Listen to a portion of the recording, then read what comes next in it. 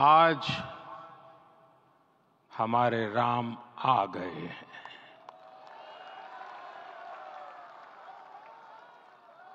सदियों की प्रतीक्षा के बाद हमारे राम आ गए हैं।